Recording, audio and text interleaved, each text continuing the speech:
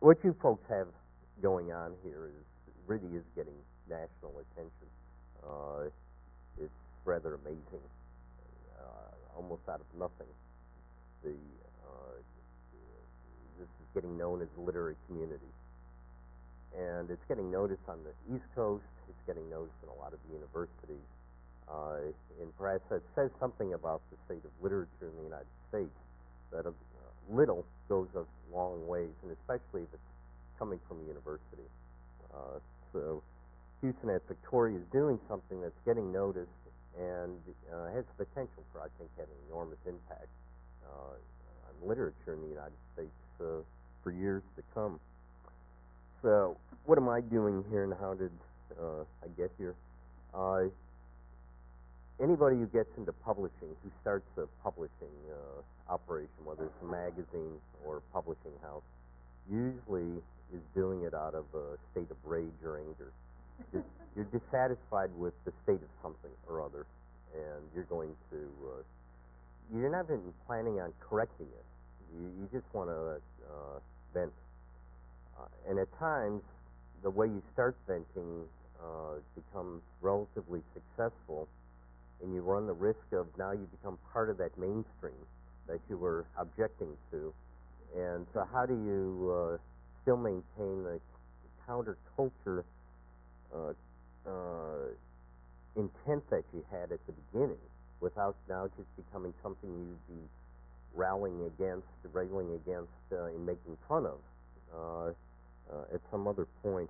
Well, that's been the challenge of initially the journal I started and then the press, is how to keep reinventing itself and keep finding reasons for being outraged. Uh, what's wrong now and how are we going to respond to it? Uh, the review of contemporary fiction when I started it was really a response to how badly certain authors were being treated by the media, uh, critics in this country, and by academics. They weren't being talked about, and I wanted them talked about. I wanted to find out who else was interested out there in the country and wanted to be writing about them. And at the same time, I wanted them to be talked about and written about in a context, in an international context.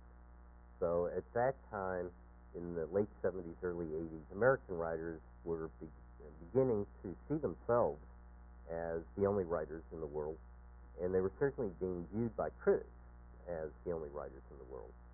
Uh, foreign writers were starting to be ignored. And my view was, as a reader, and mo most of what I've done has really been in response as a reader. Uh, my view was that any writer should be seen in the context of what else is going on in the world.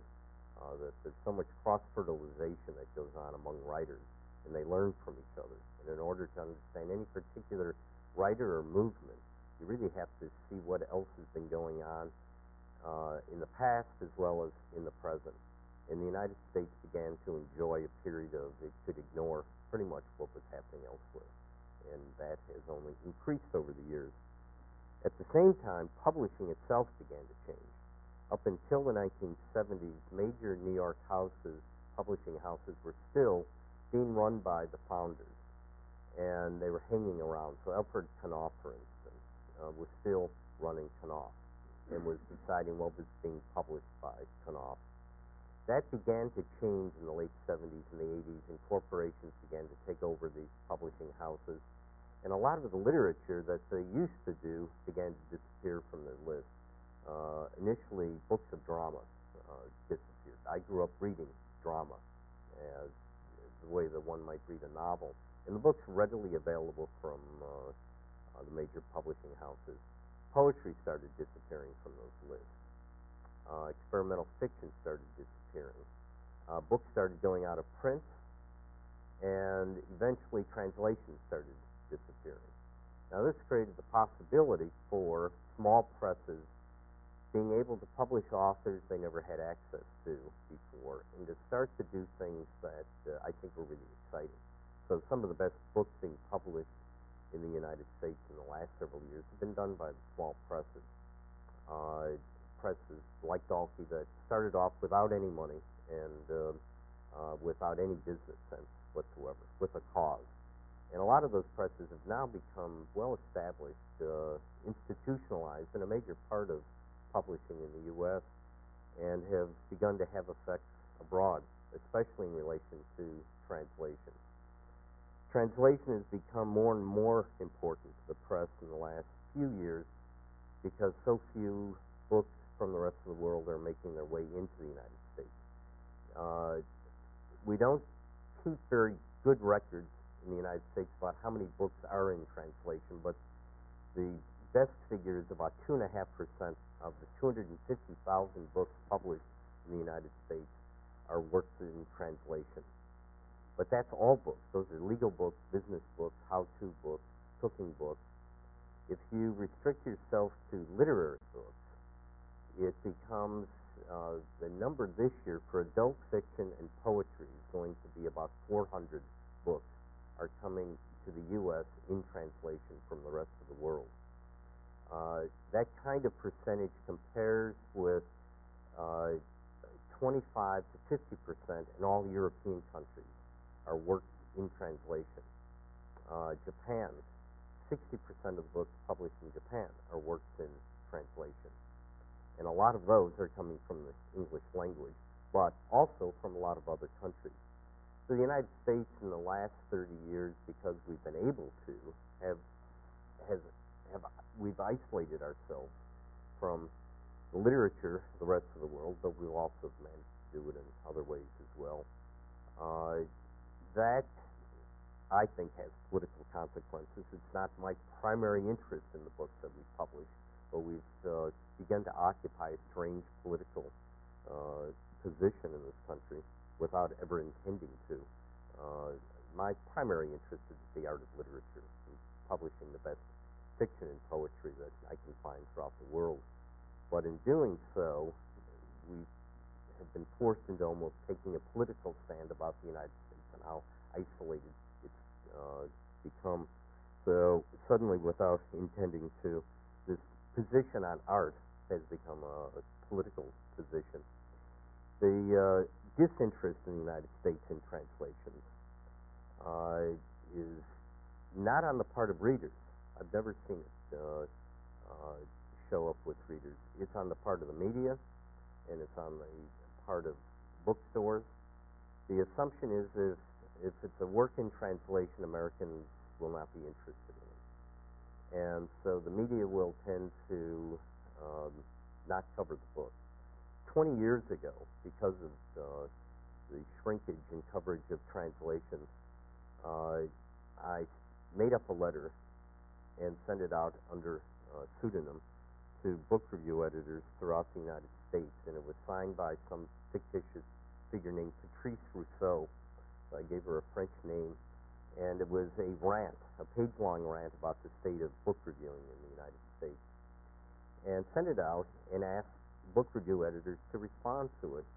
Uh, so the San Francisco Chronicle, Houston newspaper, St. Louis, every major newspaper throughout the U.S. responded to it.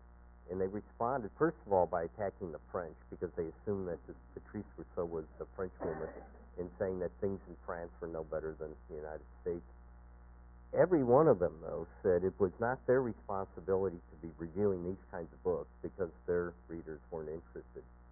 Uh, it was the New York Times' responsibility as national newspaper. But guess what the editor of the New York Times said? That their readership wasn't interested, and so it wasn't their responsibility.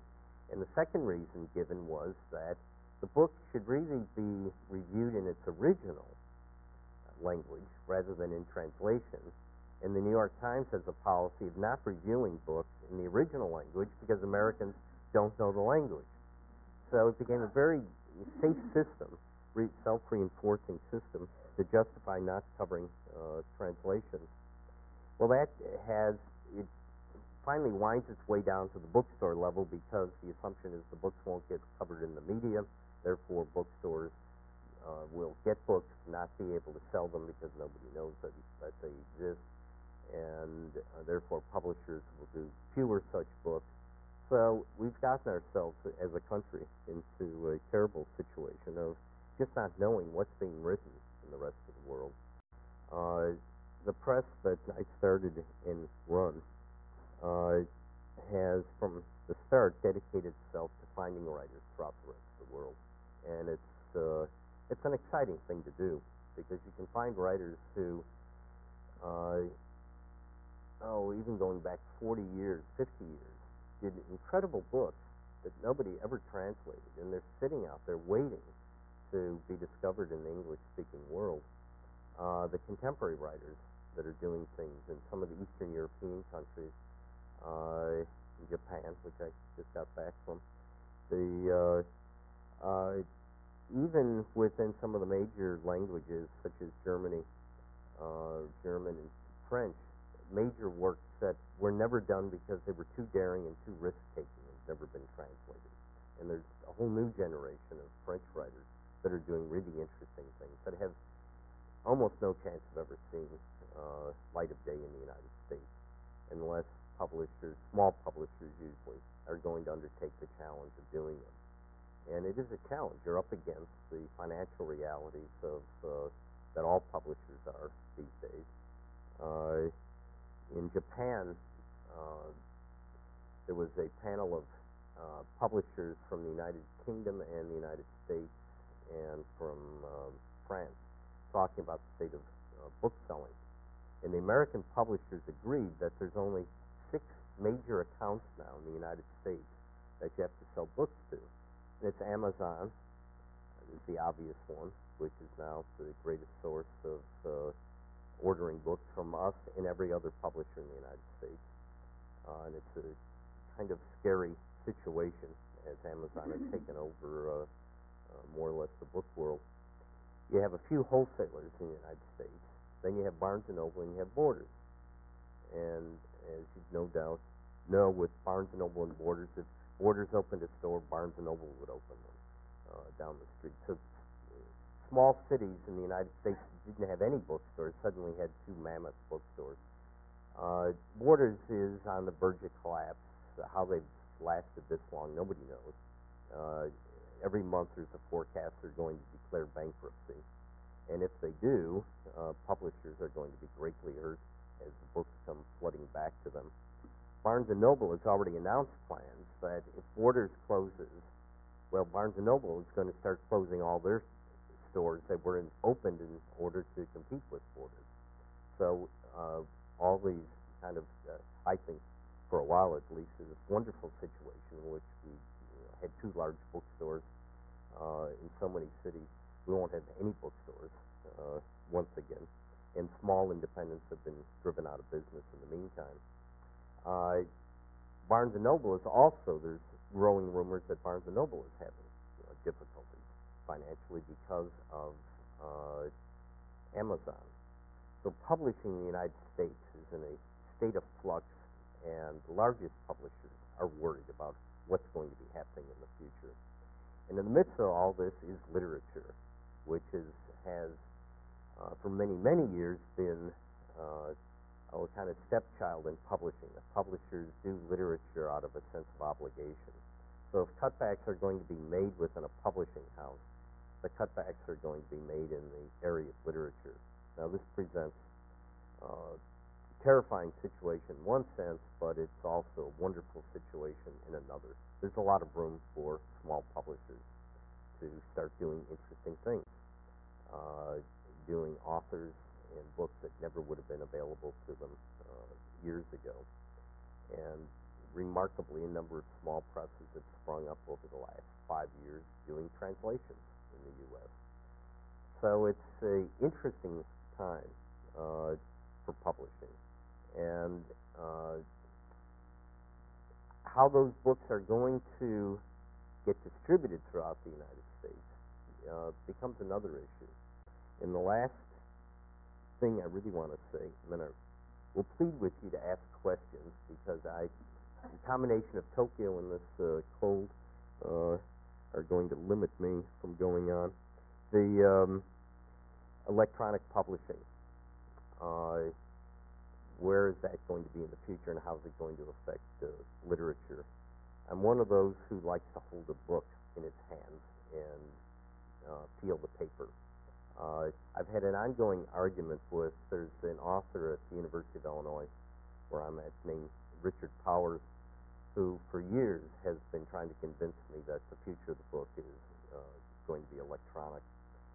and we've spent uh, a few long flights on airplanes together with uh, uh, carrying on this argument. And I think it was five years ago. Uh, in fact, David Foster Wallace, another novelist, and Rick Powers and I were traveling, and he pulled out one of these gadgets and started showing us what could be done. And David Wallace and I kept saying, yes, but it's different. You can't do this with it. And he'd show us, yes, you can. And I'd say, well, you can't take notes in the margins. And I liked to, and he started putting the notes in the margins. Uh, so David and I just shut up at a certain point, trying to find, there must still be some reason. And the last time I saw Rick, we had the usual argument. And the last thing I could fall back upon was, you can't turn the pages. And I like turning pages. And he pulled out his latest gadget and showed how you can turn the pages. So once again, I just shut up. I didn't want to say, okay, you're right. Um, I'm finally admitting to it. I've yet to read a book in this form. What are the possibilities, though, of uh, this? We now are getting rights when we buy the rights to the book. We're getting the electronic rights. And some remarkable things have started to uh, happen. With electronic rights, the book in English now becomes available throughout the world and is not dependent upon the bookstore.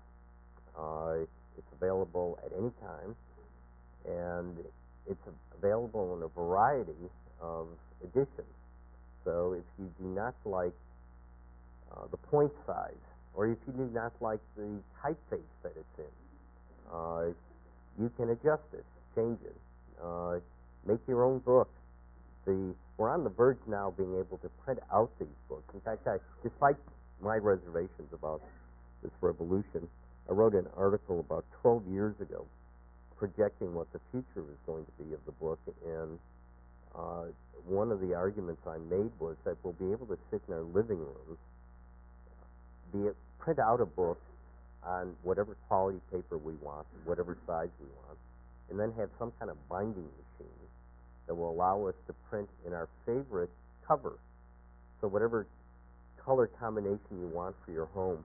So if it's burgundy, you want all of your books in burgundy, you'll be able to do that. That is now upon us. Uh, uh, the um, technology is there to allow us to do it. If you're going to go on insisting you want it in book form, do this at any time. You don't have to wait for the library to open or Alibris and see if they're going to have the book or even wait for the 24 hours for Amazon to uh, deliver it. For me, it's an exciting possibility of having so many books available and the possibilities of taking advantage of the fact that English is the dominant language, that we're going to be able to reach the entire world with English editions.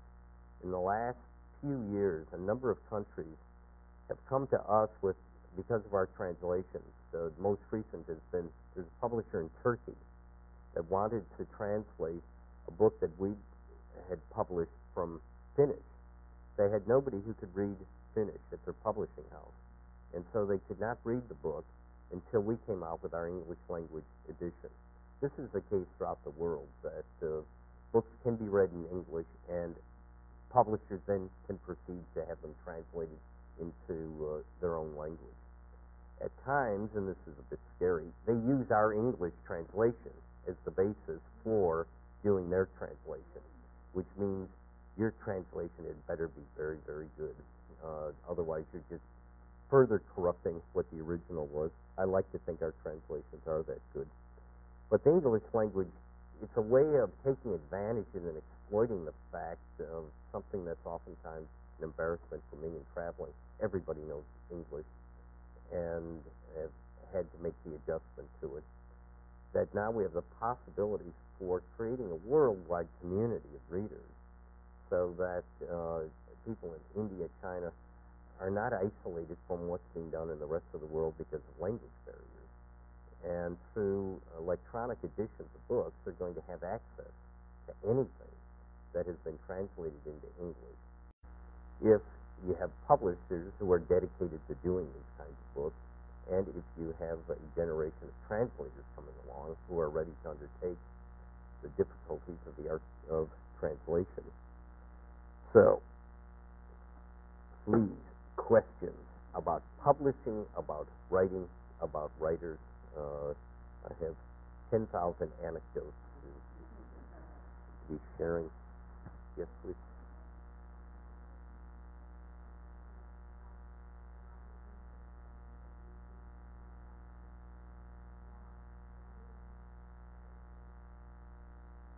in commercial publishing was economic. Uh, they were just selling fewer. Uh, a few years ago, Eastern European literature was getting widely translated, as was Russian literature, up until the wall came down. Almost all of Eastern European fiction went out of print overnight in the United States because it was no longer politically relevant. And who's going to be interested? Who's going to be buying it? it disappeared from the scene. We were able to pick up works of fiction and reprint them that uh, by major, major figures uh, in the literary world because commercial publishers decide nobody's going to be interested in Russia now. Uh, and nobody's going to be interested in Eastern Europe, so let the books go out of print. And some of these were major prize winners, Nobel Prize winners. The it was it's economics. Uh, Random House we were talking about this in the, the Tokyo conference. Random House feels as though it has to sell 15,000 copies of a book in order to break even. If you're doing a highly literary book from, let's say, Estonia, what are the possibilities in the United States you're going to find 15,000 readers for this book just to break even? Not very likely or not anytime soon. So the book isn't done. And I, I don't have any argument with commercial publishing. It's, it's run as a business. It may not be run very well as a business because commercial publishers usually don't make very much money. But it is conceived along a um, business model. These kinds of works, so works of poetry, works in translation, just do not sell well enough to justify being done by a commercial house. The small presses then step in, but they're all underfunded. They don't have the kind of economic resources to be able to influence reviewers. Uh, they don't have the oh, what potential. I, I could get into describing the kind of corrupt corruption that exists in the book review media throughout the country uh, that ensures that a certain book is going to get reviewed and other books aren't going to get reviewed. Uh, if, you want me to, I will describe it. Uh, but if you're a small publisher, you know that Random House is going to have a much better chance of getting a certain review in the New York Times, and will be able to influence the New York Times to make sure that book gets reviewed and begin to project sales based upon that. Uh, in the small press that's doing a book of poetry or translation, uh, doesn't have the resources to create that kind of influence with the New Yorker, with Atlantic Monthly or Harper's or the New York Times. So the burden has fallen to small houses to do these books without having the economic resources to uh, promote them the way that a random house could do if it thought it could sell this number of copies. Uh, the, that figure of 15,000 is probably, this is a figure I picked up from an editor at Random House five years ago that number is probably now up to 20 or 25,000.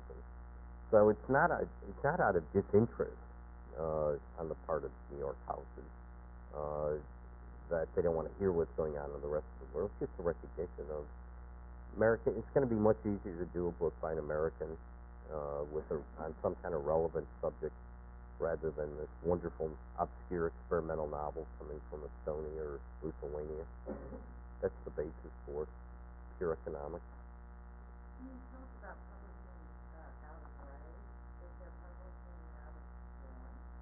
Oh, you get that part of it. The um, I, happy people don't start things though.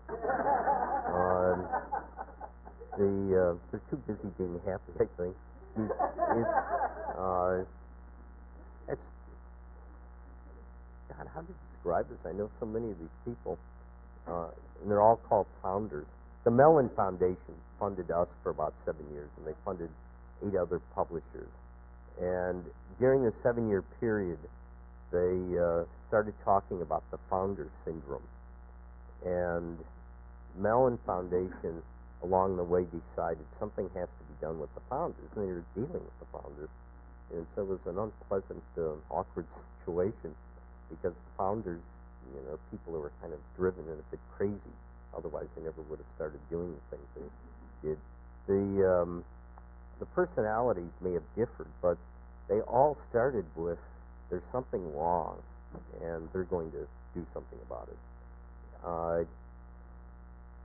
but they all uh, took extreme pleasure in doing what they're doing. Uh, so that came along with it. And there's nothing, I, for me, there's two times a year in which I get absolute delight out of what I do, and that's when our catalogs come out. And I look at them and I think I'd be so envious if some other publisher were doing these books. Uh, so that's a point of joy.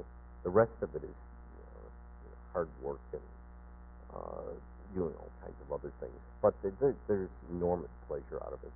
Uh, publishing is an ideal profession for people with uh, attention deficit disorder. the uh, every day there are new problems and new crises, and uh, you never can plan a day. It's it used to be well, uh, the day would start when the phone rang. Now it doesn't ring; it's emails. Uh, and you never know what a particular day is going to be. So a day will start off with some email from Europe that uh, uh, the London Times is going to be doing this big review of this book. So whatever you're planning on doing for that day, it's now something else. So anyone here, uh, those of you younger who have attention deficit disorder, believe me, it's the career for you. It's the perfect kind of job to get involved in. Somebody else. Yes.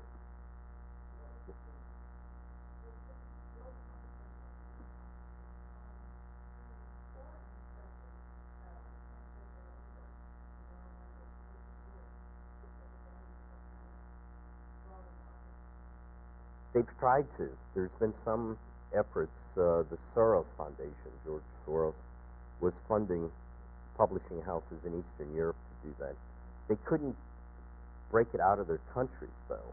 Uh, so they were publishing in English, let's say in the Czech Republic, to be read by Czechs, which is an odd situation because they could read in the original. Uh, and the publishing houses weren't able to tap into distribution systems outside of the country, so the books weren't getting circulated outside of the country.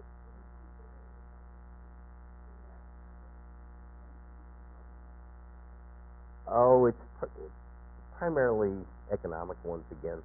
The um, the United States and the UK pretty much control the distribution of books throughout the world. Uh, there's a few major companies that uh, do it. So, but it was an odd situation. The translations oftentimes weren't very good because they were being done by people for whom English was a second language. But there was that attempt. Right now, there's a strange thing that goes on well throughout the throughout the world. The English language no, uh, novel will come out since everybody's reading English. A country, uh, the last time I was in um, uh, the Netherlands, this came up with the bookstore, that they have to hurry up and do a translation within a month uh, into their language because otherwise there'll be no market. The book's going to be read in English. So they had to be getting the book into Dutch within a month of publication in the U.S. Otherwise, there is no market for the Dutch book. And this is happening with a lot of countries. And the U.S. is beginning to affect publishing in the rest of the world because of if a book is in English, originally written in English, uh, everybody can read English. So publishers are being who have depended upon translation from English into their home languages are beginning to have real problems because of uh, uh, the readers in their country read English and would prefer to be using the English original. That's one of the kind of nice ways in which English is uh, getting used, but it's causing those kinds of problems. So, you know.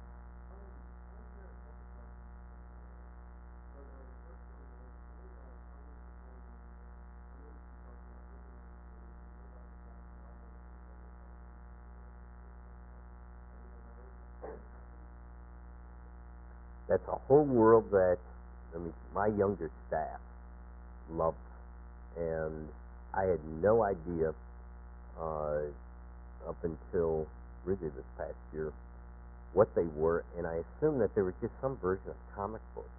Uh, and I had no idea, you know, why anybody who seemed to have a very literate background was interested in them until a few were forced upon me. And, you know, it's a very interesting kind of literature that's coming out, again, throughout the world. Yeah, it's, um,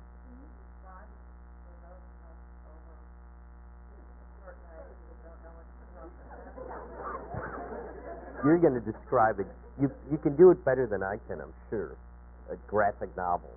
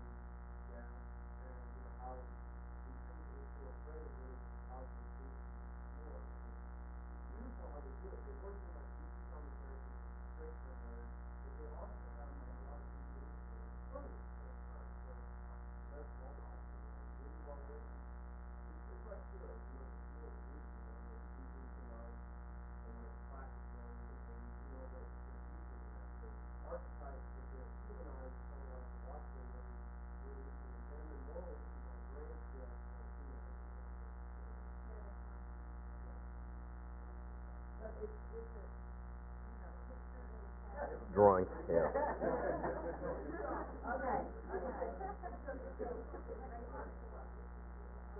I've seen book form. That that's all that I've seen it in. The and it's first rate writing. That that's what amazed me about it. I, I, I was reading a novel, uh, and I realized I was reading a novel. Now, since I was so dismissive of this with younger staff, of why are you reading these comic books, as I kept calling them, uh, and I started reading uh, the ones that they were reading, and I thought that this is very, very interesting stuff, and it's a different form. Uh, but the crispness of the language, uh, the kind of uh, oh playfulness that goes on, because they're being written by people with deep literary backgrounds. So there's a lot of intertextual kinds of things going on in them as well. Yes, sir.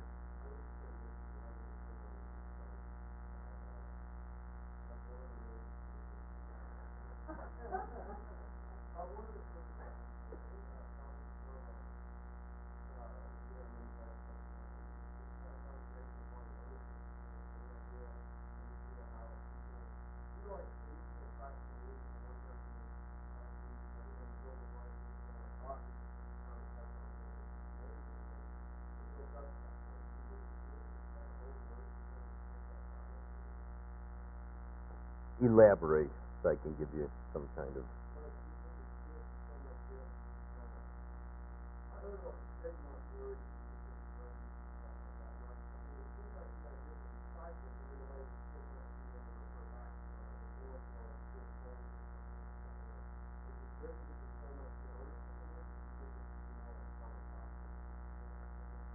Are you really speaking in a le- legal sense of trademark? I really don't. It, it's uh, uh, what foreign concepts of what I'm usually up against. Uh, it's I'm usually dealing with quite the opposite kinds of uh, problems rather than. It's yeah, that's uh, the kinds of authors that we're dealing with. The something came up in Japan, for instance, again the English language that um, Japanese authors are willing to pay to have their books translated. That uh, English language is so important. Uh, and so it's English appropriating the rest of the world. And oftentimes having to change, uh, and you try to do this as minimally as possible, you're translating not just a language, you're translating a culture. And oftentimes, in doing that and having to have it make sense in the new culture, you're having to violate the original. So, for the sake of creating a parallel experience for the new reader, uh,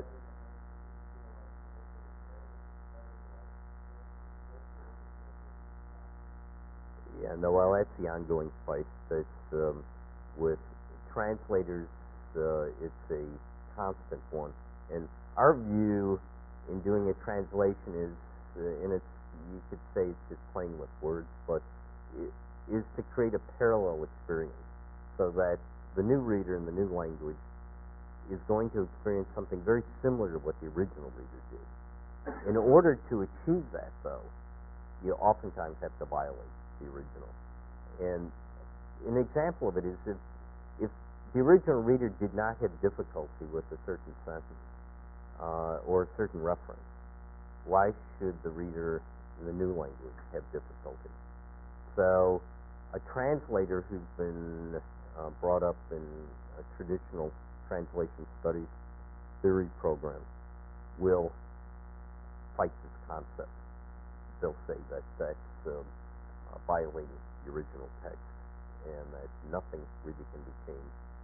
So things that will come out uh, as obscure, if they do come out obscure in the English language, that's fine. And I think it's a violation of what the author was up to. Uh, if, if that wasn't a problem, the original.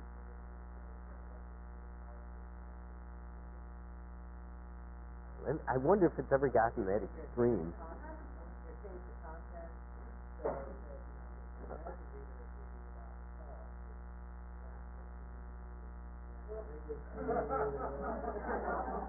Let's translate the cricket anytime you But, want. but,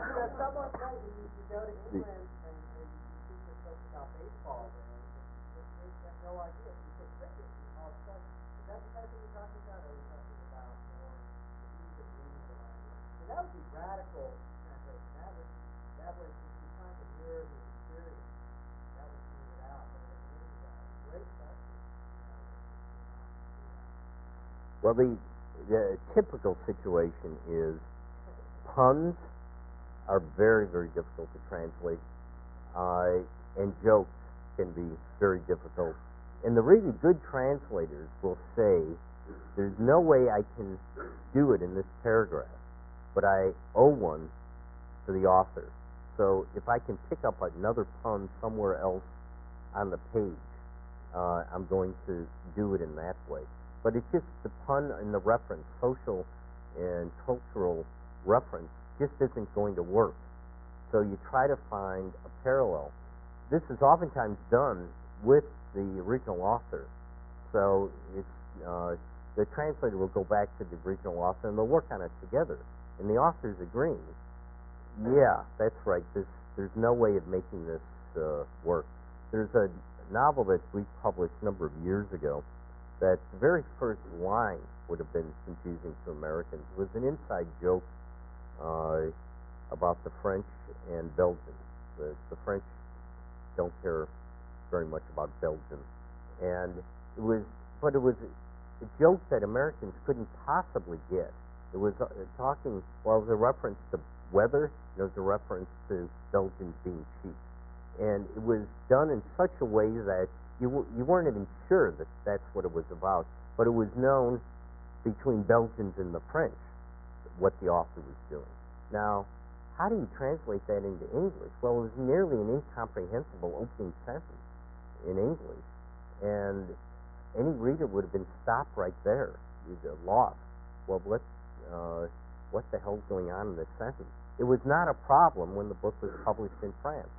People got it and just proceeded to the next sentence. So, what do you do with that when you're bringing it into English? Are you trying to stop the reader from con- continuing to read?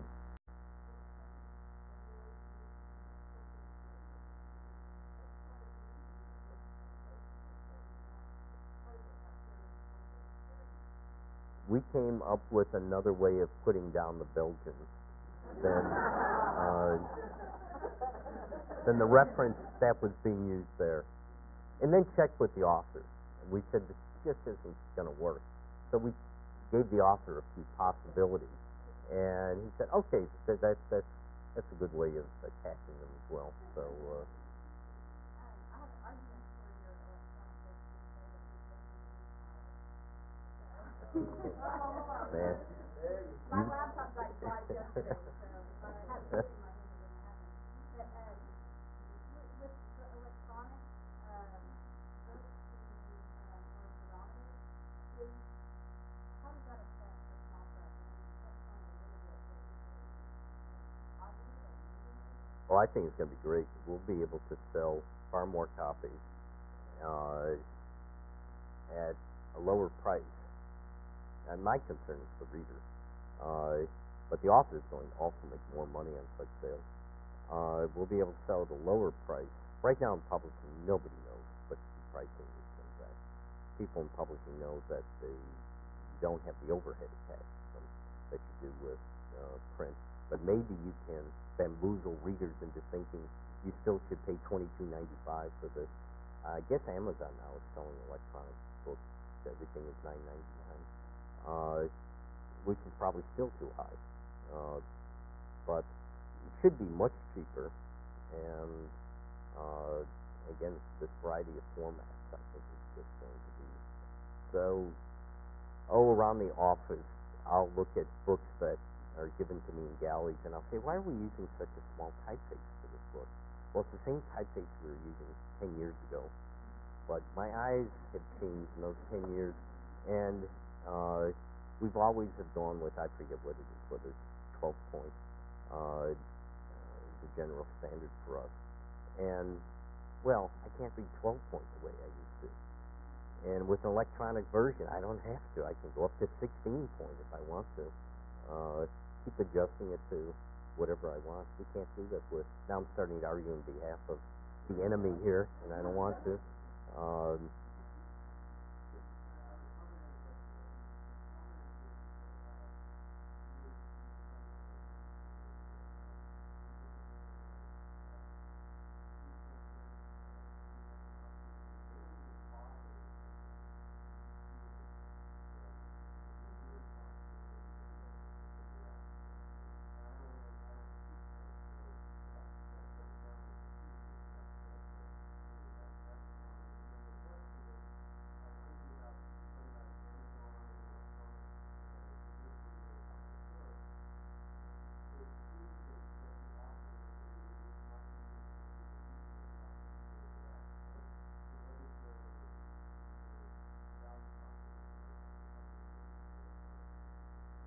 that's been oh they, they don't appear on television any longer but uh, going back just a few years xerox would have a professor standing in front of a class describing publishing and that uh, you know you have to learn how to deal with a publisher and some student raises hand and says i don't i publish my own books well xerox doesn't run that ad any longer.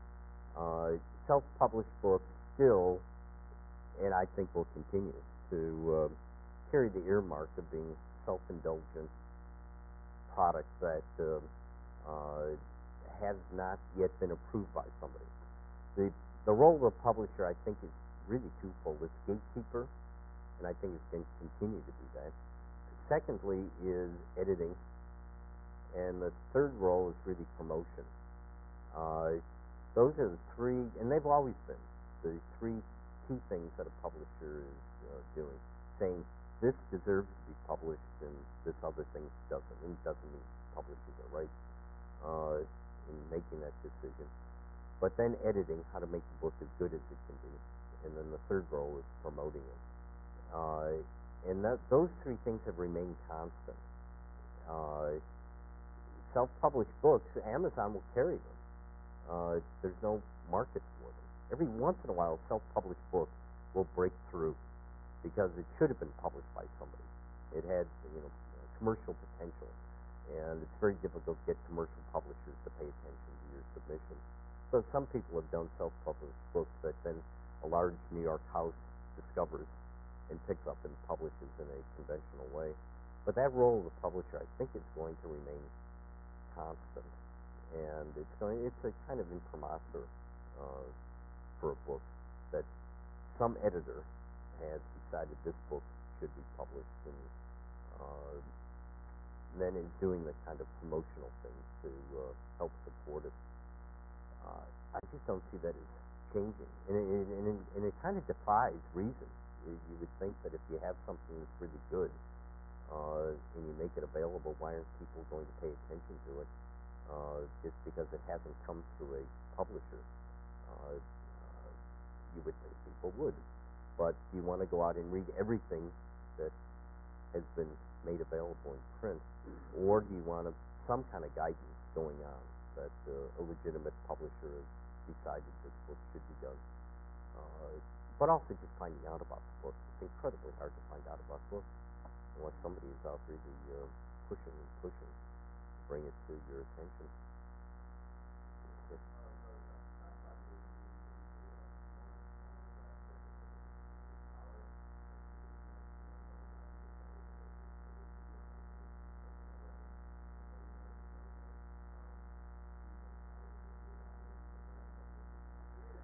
It's they they've tried. I um, Stephen King attempted.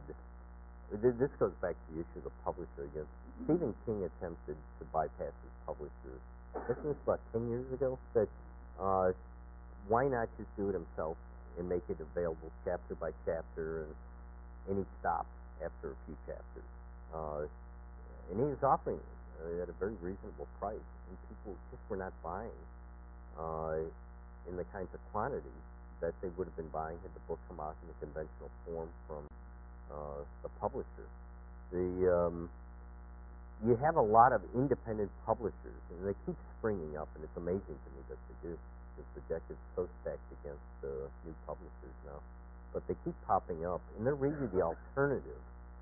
Uh, and they do the the groundwork and the grunt work uh, for the publication of the books, and I think writers it's probably a mistake for them to get involved in the awfulness of publishing the kinds of things you have to do.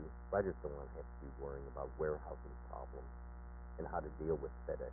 And uh, uh, the it, it works up to a point, but books are uh, strange kind of commodity to be dealing with, and you don't have a lot of the outlets, technological outlets that. Um, uh, but it, it's possible with electronic books that um, that other alternative publishers could start popping up that are really being run by um, authors themselves. Although we don't have a great model of the success of co-op publishing with authors, uh, they tend not to get along very well. And maybe they do in other art forms. Authors tend not to. The attempts to form collectives uh, with authors always been a difficult one. Somebody else? Um, how hard or easy is it, is it, is it to find the people that can actually do the translation? Uh, it's um, how many hours do we have here? The it's the the quick one. Is, there's a shortage of really good translators, uh, and it's uh, and especially with certain languages. The best translators, one, are getting older and older, and there's not a new generation coming along. Uh, it's thankless work. You usually uh, have to have a day job to go along with it. You're not paid well as a literary translator. Uh, and it's it's really an art. It's it's not just knowing the language. Uh, so it can be difficult finding the right translator for the uh, for a particular book, and especially if it's an obscure language. It's something that, and it's something I think universities should be taking responsibility for, is developing new generations of translators and making their lives a bit easier. Uh, right now in academia, it's a big issue with the Modern Language Association that they're going to be raising in the next year, and that is translations historically do not count towards promotion in academia. Uh, it doesn't count as creative work and it doesn't count as scholarly work, and in my view, it's both, and it should be counted as both. We have a number of very good translators who are in academia who at times will tell us there's one just recently from Harvard that I can't translate for the next three years because I have to churn out some what he called third-rate articles uh, in order to get promotion. Uh, and he knew that his really good work is translation work, but what's going to get him promotion is the usual kind of uh, academic book and articles. So, got to in academia. It's it's where it has to change, and uh, there's been a lot of complaining going on about it, and uh, uh, through one of our publications, we've been doing it a lot and trying to raise it as an issue in the profession. And modern language this year has announced that uh, next year's convention is going to be a large part of it's going to be devoted to translations, and that's one of the major issues. Uh, so I, I, I think translators are threats to conventional academics in many ways. Uh, that um, it's it's seen as fun work to do, and anybody can do it, and it's neither of those. Uh, so it, it should be counted as I say creative work and scholarly work, and that would help the situation. But also just creating translators, having programs at universities that are turning out translators, and nobody's doing it right now. Thank you.